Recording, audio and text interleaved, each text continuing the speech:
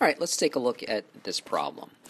Well, we're given a gigantic electric dipole because the dipole distance is 0.5 meters, so half a meter stick, so it's certainly not a typical atomic and molecular type of a dipole.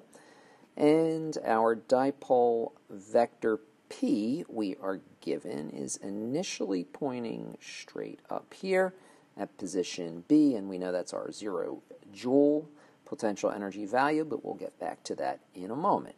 Now, the electric field we are given in this problem, we can see these uniformly spaced straight lines. So the electric field here, E, right, is given as 10 newtons per coulomb, and that's in the positive x hat direction always. Well, let's see what they're asking us to solve for. The first thing they ask us to solve for is the magnitude of the p vector. So the magnitude of the p vector is q times d. It's a 1 coulomb charge. We are given the 1 coulomb up here. The d, as we said, was the half meter, so we have 0.5 coulomb meters for the dipole value. Now, for the torque you need to go into cross product, vector C equals vector A cross vector B. In this case, it's torque equals vector P cross vector E. So take those vectors drawn from a common origin to get the sine of the angle between them. So the sine of our angle 90 degrees here comes from the P vector and the E vector being drawn from a common origin. Magnitude of the first, the 0.5 we just calculated magnitude of the second, the electric field we know. So we get 5 Newton meters, and please don't forget your right hand rule. So please review that if you need to. If we do P cross E, that is a thumb into the paper, negative Z hat torque. Now, when the dipole is pointing to point C, so when the dipole points to C, we get sine of 0 degrees. Angle between the two, sine of 0 is 0, 0 torque. P cross E. Draw the vectors from a common origin. Now the P vector they're telling us is going towards point E, so that's down here. So the P that P vector and our E vector give us an angle here, right? So if we're told this is 60, that means we have 30 and 90. That's where the 120 comes from. So we get a torque of 4.3. And notice now we have a positive z hat because when we do the p, right, cross with our e, that is going to be a little bit contorted, but a thumb out of the paper, a positive z hat torque. Same for the potential energies. You simply let the equation calculate the joule value, and we'll talk about how that joule value impacts our calculation for kinetic energy in part D. But as far as our joule values go, right, when it's at position Z, it's negative PE sine theta. So you use negative P or PE cosine theta, sorry, negative PE cosine theta to calculate the joule values.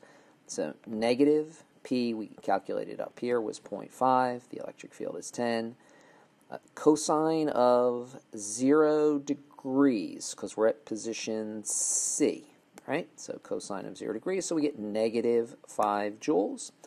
At 90 degrees, negative PE cosine theta, cosine of 90 is 0. That gives us our 0 joules. So we have a PE min at negative 5.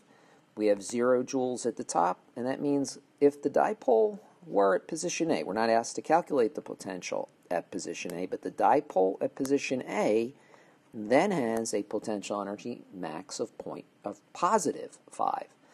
So we lose 5 when the dipole rotates from 180 to 0. So now we would have 5 joules of kinetic energy. We drop another 5 joules as we go from 0 joules to negative 5 joules. So here we would have 10 total joules of rotational kinetic energy if it were to rotate from A to C. Well, the potential energy value, we're just calculating values at the moment, the potential energy value to position E gives us negative 0.510 cosine of 120, so positive 2.5 when it's at position E. So let's see how the problem asks us to kind of make sense of what's going on here. It says how much work in part D, how much work is done by the electric field, work done by the electric field as the dipole rotates from B to C. Well, if it's final, right, delta U, right, work done by the field is negative the change in potential energy, negative, right, final minus initial. The initial is 0. The final is minus 5. So there you have it. Our equation tells us what we could just look at spatially and see we went from 0 and dropped 5. So our loss of 5 joules of potential energy became a positive 5 joules. Work done by the field, and that work done by the field would be seen as the kinetic energy of rotation of the dipole. All right, last bit here. So there's a lot going on here. Hopefully, it's beginning to make dipole rotations a little clearer to you. Here we are asked to look at the dipole rotating from B to position E. So if the dipole is released from rest at its initial position, so if it's released from rest up here at position B,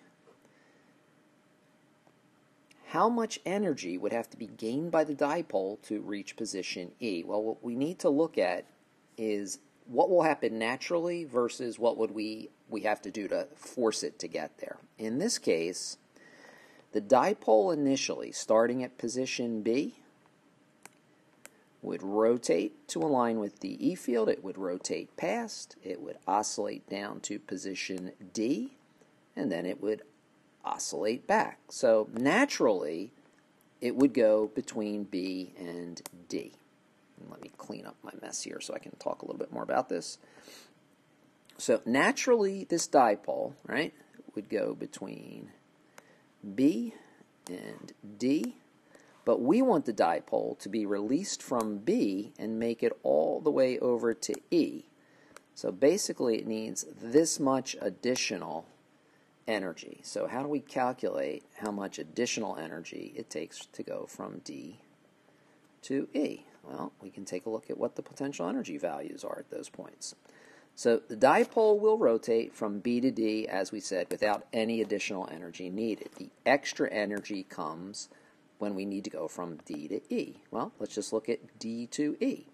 So if my final, right, is going to be at position E minus my initial at position D, right? Zero joules of potential energy down here because we still have that 90 degree angle between the P and the E vector.